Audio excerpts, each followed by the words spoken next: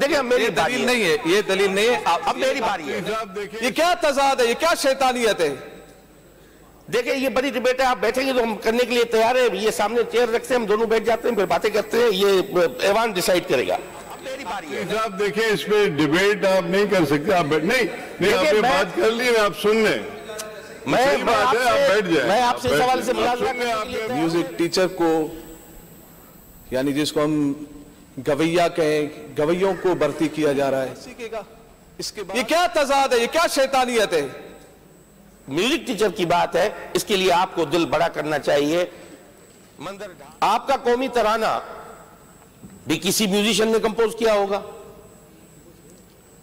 यकीनन गनाया चीज़ें गा के सुर में चाहे अल्लाह की परवरदिगार की तारीफ़ हो चाहे हमारे आकाए नामदार की तारीफ़ हो वो सारी गदाइया है। वो सारी सुर में है म्यूज़िक की तरफ़ जाके यानी बच्चों को हम डांस सिखाएँगे हम उनको गाना बजाना सिखाएँगे। मौसीकी फकत नाच गाने का नाम नहीं है। जो म्यूज़िक है वो आर्ट है वो बच्चे की तखलीकी सलाहियत को उजागर करता है। वो इसलिए नहीं है कि वो वो, वो बच्चा फांसी की तरफ़ चला जाएगा वरना आप आप तो ही है आपके पास म्यूज़िक टीचर नहीं है फांसी मुआशरे में सोसाइटी में नहीं है क्या? म्यूजिशियन है। अब तो हम तो ऑप्शनल छोड़ रहे हैं कि म्यूज़िक टीचर बच्चे को देना उसकी कॉग्नेटिव और क्रिएटिव एबिलिटी को डेवलप करता है। खाली खाली खाली इन बातों से और सारी चीज़ें बताने से कोई इंसान की जहन पे सोच पे असर नहीं पड़ता। इंसान को पहले इंसान बनना पड़ता है फिर अच्छा मुसलमान बनेगा। अगर इंसान नहीं है ना मुसलमान बन सकता है ना हिंदू बन सकता है ना क्रिश्चियन बन सकता है। ये क्या तजाद है ये क्या शैतानियत है?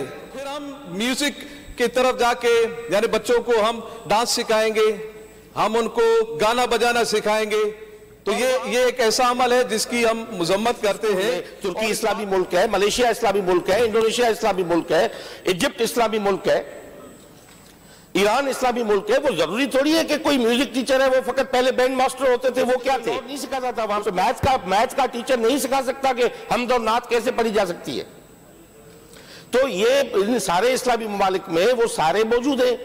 और दूसरी बात ये कि ये क्यों ये क्यों समझ लेना कि भाई जो एक गायक है या म्यूजिशियन है, वो फकत फाशी फैलाएगा। ये कवाली जो हमारे आकाए नामदार के हुजूर में होती है जो सदा ख्वानी होती है ख्वाजा मुहिंदीन अजमेर की दरगाह से लेके जलालुद्दीन रोमी के कोनिया तक शाह लतीफ के तंबूरे से लेके आपके बाबा बुल्ला शाह तक जो होती है वो भी सारे म्यूजिशियन है।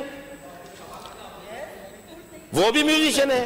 तो हम एक इंसान बनाने की कर रहे हैं कल उसकी मर्ज़ी है कल वो वो जाके हमद पढ़े नात पढ़े वो कवाली पढ़े वो जो कुछ भी पढ़े।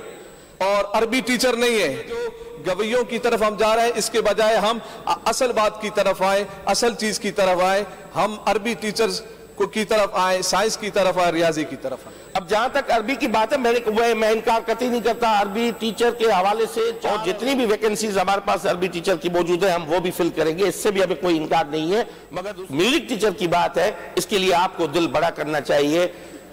मंदिर ढा दे मस्जिद ढा दे ढा दे जो कुछ डहंदा किसी बंदे का दिल न ढावी रब दिला विच रहंदा। देखिए अब मेरी दलील नहीं है ये दलील नहीं है। आप- अब मेरी बारी है। साहब देखिए इस पे डिबेट आप नहीं कर सकते आप बैठ नहीं नहीं आपने मैं- बात कर ली आप सुन लें। मैं मैं बात है, आप बैठ आपसे मैं आपसे बैठ सवाल से आप लें, करने के लिए तैयार हूँ। मैं रिस्पेक्ट करता हूँ आपके मौकूफ के मुझे भी सुना जाए। ये मेरा राइट है।